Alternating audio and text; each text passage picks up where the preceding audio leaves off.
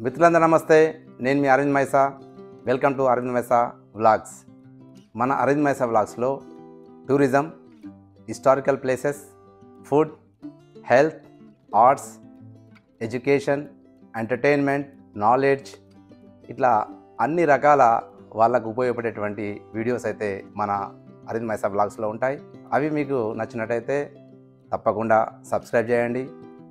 మీ friends కూడా share చేయండి. మరి లైక్ చేయండి కామెంట్ చేయండి. ఫుడ్ అండ్ హెల్త్లో భాగంగా ఈరోజు మనం మొక్కజొన్నతో గట్కా ఎట్లా తయారు చేస్తారో ఆ రెసిపీని మీకు చూపించబోతున్నాం.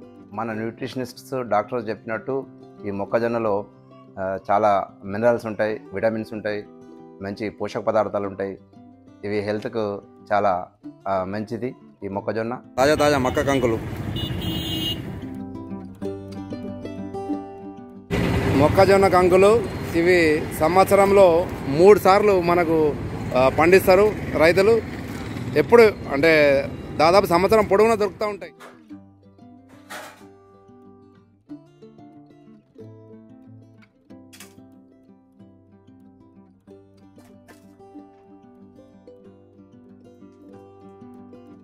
ఉల్సుడు ప్రాసెస్ లేట్ అవుతుంది కాబట్టి ఇట్లా కట్ చేయడం కూడా చాలా అంటే మనకు తొందరగా అవుతుంది. పచ్చి మక్క కంకులతోని గట్క అయితే చాలా సూపర్గా ఉంటుంది. ఇప్పుడు వీటిని గ్రైండర్ చేయాల్సి ఉంటుంది.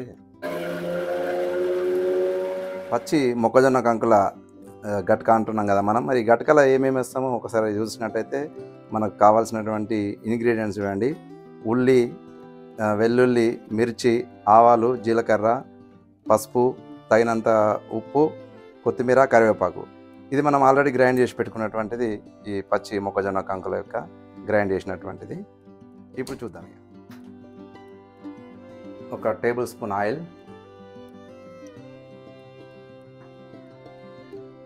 ఇప్పుడు ఆయిల్ వేడైన తర్వాత ఫస్ట్ ఆవాలు వేసిండ్రు. జీలకర్ర పచ్చిమిర్చి.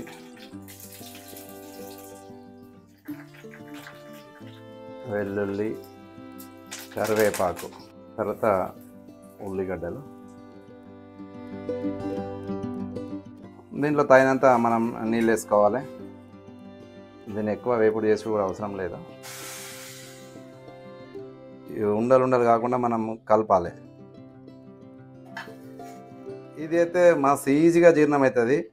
మళ్ళీ ఇలా పీచు పదార్థం కూడా బాగుంటుంది కాబట్టి జీర్ణమవుడు కూడా చాలా మన ఈ- ఈజీ.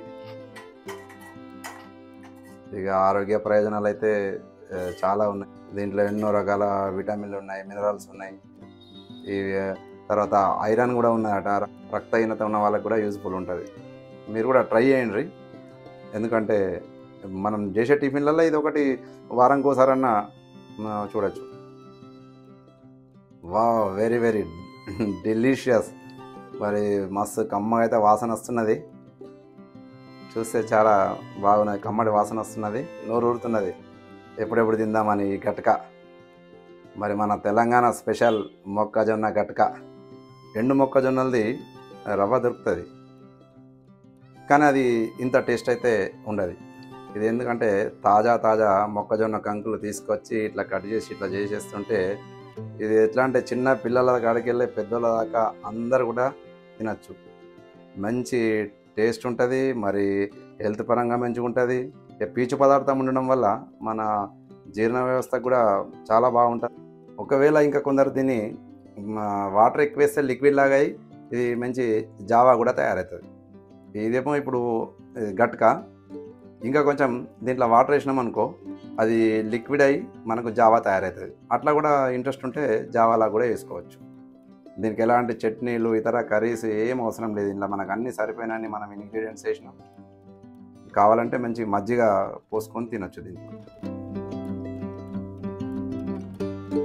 ఓకే ఫ్రెండ్స్ మొక్కజొన్నల గట్క తయారైంది. మరి టేస్ట్ చూద్దాం ఇప్పుడు ఈ గట్కను.